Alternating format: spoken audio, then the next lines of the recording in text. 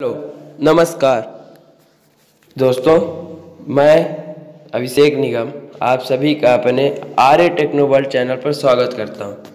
दोस्तों, हमारे आज के वीडियो का टॉपिक है, सीएम राइस, गवर्नमेंट टीचर पर, जिन्हें दीक्षा ऐप डाउनलोड करने को कहा गया दोस्तों, आज के हमारे वीडियो में मैं आप सभी को यह बताऊँगा दीक्षा ऐप कैसे इंस्टॉल करें और कैसे इसमें लॉगिन करें क्या क्या करना है स्टेप बाय स्टेप मैं बताऊँगा। तो दोस्तों वीडियो को अंत तक ज़रूर देखें, तभी आपको अच्छे से समझ में आएगा। चलिए दोस्तों, सबसे पहले दीक्षा ऐप डाउनलोड करने के लिए हम चले जाते हैं प्ले स्टोर पर। दोस्तों, ये हम प्ले स्टोर खोल लिए हैं। यहाँ पे सर्च में हमको करना है दीक्षा ऐप। दोस्तों, मैं इस ऐप की लिंक आप सभी को डिस्क्रिप्शन पे दे दूँगा। ये दोस्तों, इसको इंस्टॉल कर लेते हैं। दोस्तों, ये इंस्टॉल हो रहा है।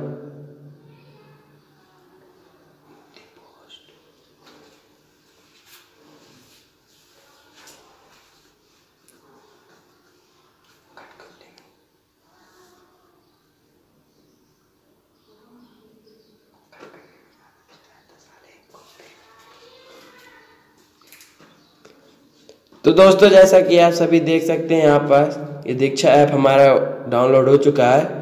और हमें यहाँ पास एक ऑप्शन आ गया ओपन का। चलिए दोस्तों, हम यहाँ पास ओपन कर लेते हैं। दोस्तों, हमारे सामने कुछ इस तरह का आइकन आ रहा है। यहाँ पास हमें सबसे पहले पूछता है लैंग्वेज के लिए। तो दोस्तों, हमें अपनी लैंग्वेज हम अपने हिसाब से, अपने पसंद से हिंदी या इंग्लिश ले सकते दोस्तों, मैं हिंदी लेता हूँ। चलिए दोस्तों, चलते हिंदी। यहाँ पास पूछता है आप कौन है? शिक्षक, विद्यार्थी, अन्य। मैं शिक्षक कर लेता हूँ। अब दोस्तों यहाँ पास हमें पूछ बोर्ड चुनने कह रहा है। चलिए दोस्तों हम बोर्ड चुन लेते हैं। यहाँ पास जाके मेरा बोर्ड है मध्य प्रदेश। इसलिए मैं मध्य प्रदेश बोर्ड चुन लेता हूँ। फिर इसमें माध्यम, हिंदी, इंग्लिश, संस्कृत में कोई भी चुन सकते हैं। मैं हिंदी ले लेता हूँ। उसके बाद कक्षा। दोस्तों यहाँ पास कक्षा में हम एक या एक से अधिक कक्षा चुन सकते हैं। हम यहाँ पास कोई भी एक ले लेते हैं। मैं फोर्थ फिफ्थ ले लेता हूँ। जिसे जिस कक्षा को हम पढ़ाते हैं, यहाँ पास हम उस कक्षा के बारे में डालेंगे कि हम कौन कौन सी कक्षा पढ़ाते हैं। चलिए दोस्तों, आगे देख लेते हैं। यहाँ पास दोस्तों, आप देख सकते हैं कि हमारा दीक्षा ऐप खुल चुका है। मगर, यह अभी लॉगिन नहीं है कि हम कौन है। जैसे अभी ऐप खुला अब इसे लॉगिन अपनी प्रोफ़ाइल बनाने के लिए, यहाँ पास हमें नीचे फोर आइकन्स दिख रहे हैं। पुस्तक संग्रह, प्रशिक्षण डाउनलोड प्रोफ़ाइल। दोस्तों, अगर हमें कोई बुक देखना है तो पुस्तक संग्रह से, प्रशिक्षण के लिए सेकंड वाला हम लेंगे। तीसरे में डाउनलोड है, जो चीज़ हम डाउनलोड करेंगे, फोर्थ में है प्रोफ़ाइल।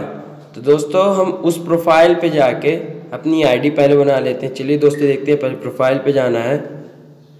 फिर उसके बाद दोस्तों, यहाँ पास हमें गेस्ट बना भी दिया हुआ है। फिर उसके बाद नीचे देख सकते हैं, लिखा है, दीक्षा में असीमित पहुँच। प्राप्त करें। सुविधाओं तक पहुँचने के लिए लॉगिन करें।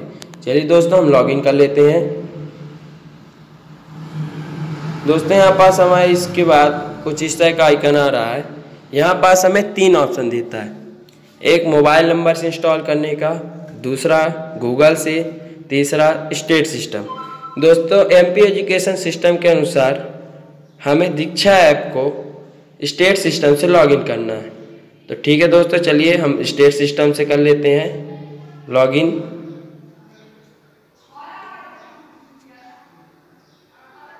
जो स्टेट सिस्टम दोस्तों ग्रीन पट्टी पे लिखा है, हम स्टेट सिस्टम कर लिए हैं। अब इसके बाद आगे लोड हो रहा है, इसको खुल लेने देते हैं।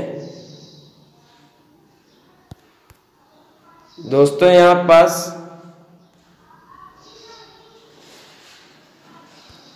चलिए दोस्तों, इसे हम लॉगिन कर लेते हैं।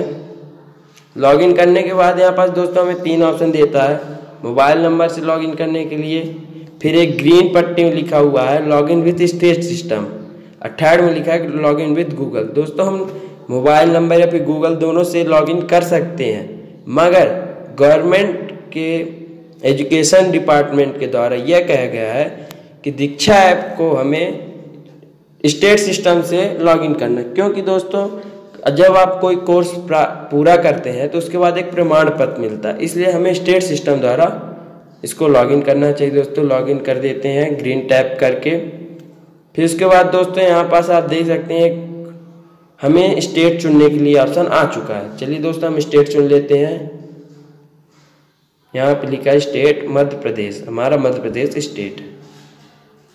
चलिए सबमिट कर देते हैं। दोस्तों, यहाँ पास आ गया हमारे पास कुछ इस तरह का icon log in to Diksha from Madhya Pradesh school education portal दोस्तों, अब हमें यहाँ पास लॉगिन करना है। दोस्तों, हमें जो यहाँ पे यूज़र नेम दिया हुआ है यूज़र नेम हमें एम्प्लॉय आईडी डालना है, जो कि हमारी यूनिक आईडी होती है। मेरी यूनिक आईडी है तो मैं डाल देता हूँ, मैं डाल देते हैं। इसके बाद हम यहाँ पे रिमेंबर मी कर देंगे। पासवर्ड डालने के बाद दोस्तों, अगर हम यहाँ पे रिमेंबर मी कर देंगे तो हमें जो है दोबारा पासवर्ड डालने की ज़रूरत नहीं पड़ेगी। लॉगिन कर देते हैं।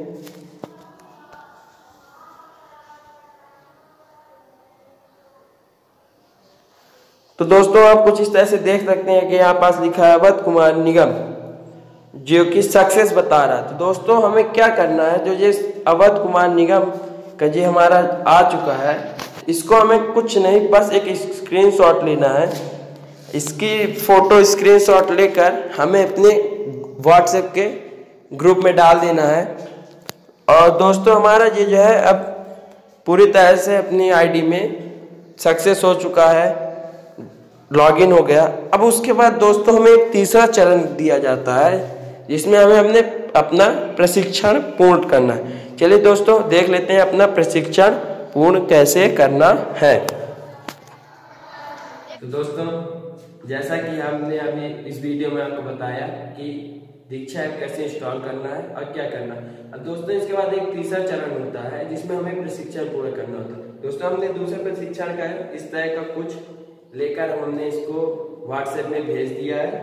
फिर दोस्तों, हमें जो है प्रशिक्षण पूरा करना। दोस्तों, इसके लिए हमने एक और वीडियो बनाई है, जिसकी लिंक हमने ऊपर आपको दे रखी है। वहाँ पर से जाके टच कर लीजिए आप। आपको वीडियो के ऊपर ही लिंक दिख रही है। वहाँ से आप देख सकते हैं प्रशिक्षण कैसे करें। धन्यवाद दोस्तों, ऐसे ही और वीडियो लेने के लिए, देखने के लिए हमारे चैनल को सब्सक्राइब करें।